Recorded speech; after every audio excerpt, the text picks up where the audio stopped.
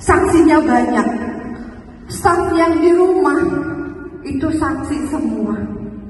Bagaimana Pak Wali dijemput di rumah?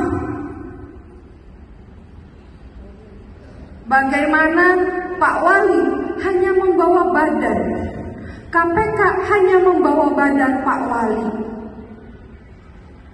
Tidak membawa uang sepeser pun.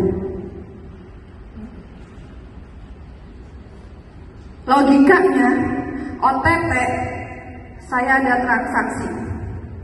Bang, saya terangkan, saya ke gap. Benar ya? Ini tidak ada.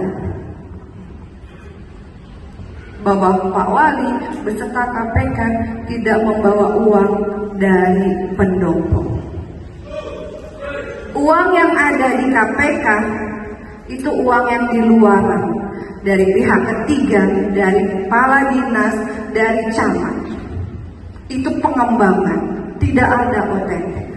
Memang ini pembunuhan karakter.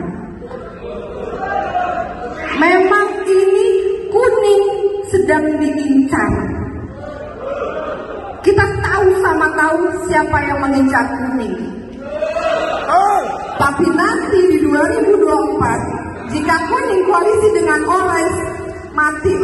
Bota lá aí.